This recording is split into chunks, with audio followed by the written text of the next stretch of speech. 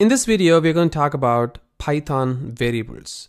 So any programming language that you take will always have a variable and variable is the place where you're gonna actually set a value and you're gonna get a value and you're gonna manipulate some value and all the operation that you're gonna do is within a variable of any programming language. So variable is a super important thing and without variable, you cannot actually do anything within the code that you're actually working with. So in our last video, we did the insulation and we also saw how we can print a value using a very, very super simple method, something like print. That's it. So you can see that this is the beauty of this programming language itself. If you're coming from the background of Java, you'll be using the system.out.println or print. And similarly on the C sharp programming language, we have something like console.writeLine or console.write.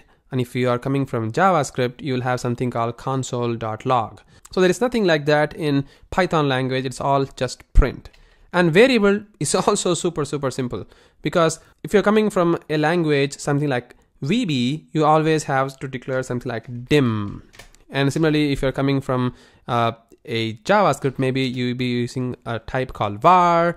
And in C sharp, there are many different types that you need to specify apart from var is of course available there. But in Python, you don't really have to specify any type for any variable. All you're gonna do is let's say if you're to specify something like name is equal to Karthik, which means it is actually an string type. And similarly, if you're to specify something like the salary is equal to 1000, then it is an integer type. And similarly, is married, and if you're going to specify true, then it is a boolean type. So you can see that the type is going to be set within a variable in Python for you automatically and you don't really have to specify any one of them. So let's try to print this particular value that you have specified in the variable.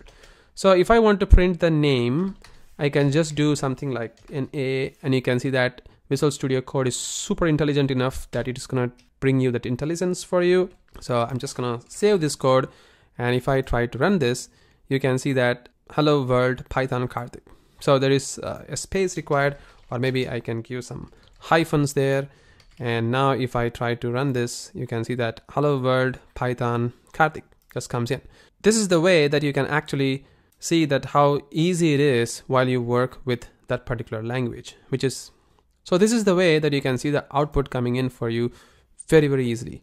You can actually run the same code with the command line that is specified over here within the iTerm terminal or any terminal that you are currently using in. Something like this. You can see that uh, slash user slash local slash bin slash python 3 is where my python is being installed.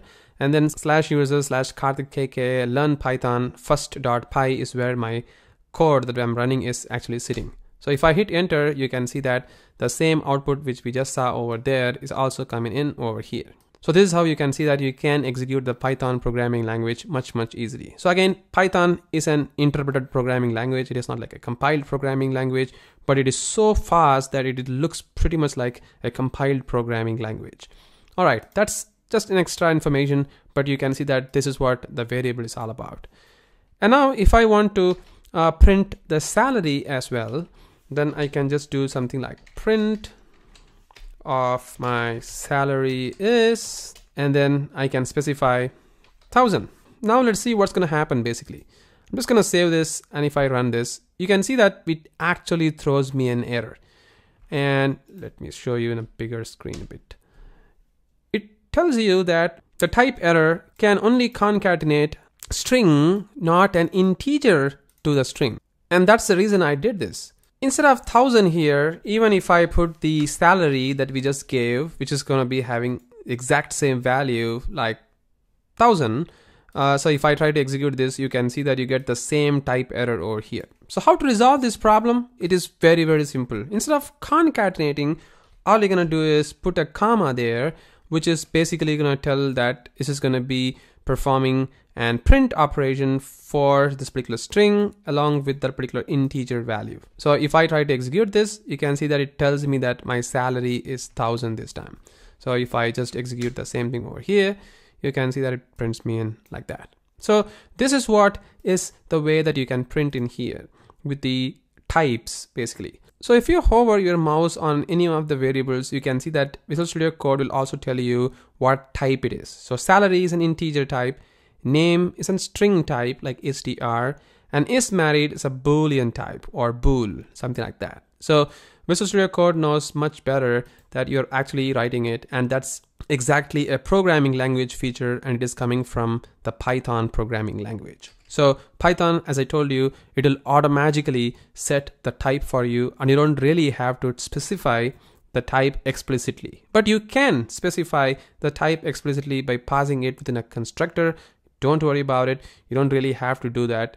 I mean, it's up to you if you want to really do it. But yeah, this is what it is. So you can also specify the type something like this. And this is also another way of actually explicitly specifying the type uh, in the Python programming language, something like that. And this way you can actually see that how easy it is to understand what type you're actually working with. I mean, these types you already know, but if you're working with WebDriver and similarly web element in Python, then probably you can specify colon WebDriver, which will tell you that this type that you're specifying is actually of a WebDriver, and the colon web element is actually a web element type.